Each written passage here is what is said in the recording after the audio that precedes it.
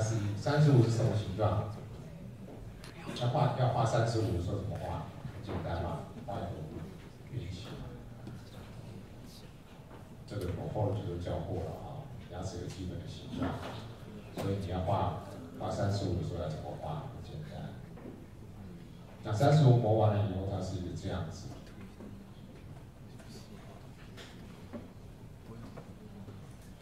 所以它这个它这个面有一点朝向舌侧，对不对？所以你打这个勾的时候，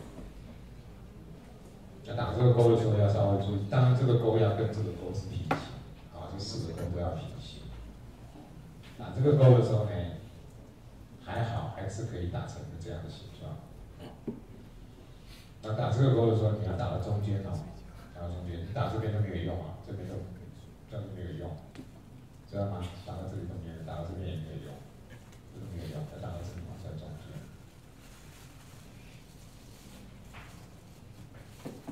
打错了就赶快买一个，再从再买个牙齿啊。那打勾的时候呢，我们从这个面来看。